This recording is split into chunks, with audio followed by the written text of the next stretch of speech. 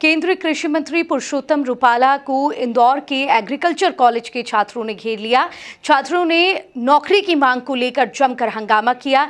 इस दौरान छात्रों और पुलिस के बीच जमकर झड़प भी हुई।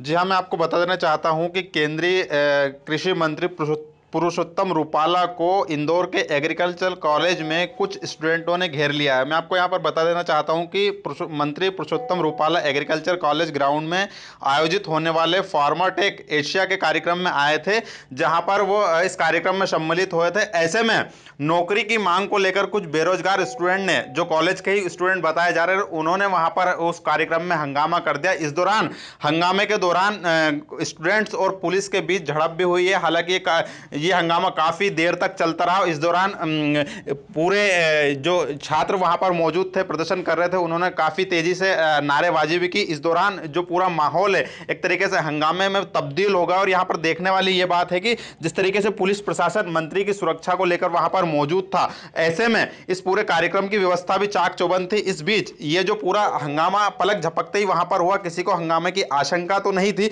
लेकिन अचानक से जिस तरीके से ये हंगामा हुआ, उसे देखते हुए हालात एकदम से सनसनीखेज हो गए और वहाँ पर पूरा माहौल एकदम से हड़कंप का माहौल वहाँ पर तब्दील हो गया तो कहा जा सकता है कि यह एक अचानक जो कार्यक्रम पूरा आयोजित हो रहा था, ऐसे में यह अचानक से हंगामा होना कहीं ना कहीं बड़े व्यवस्थाओं पर भी सवाल खड़े करता है।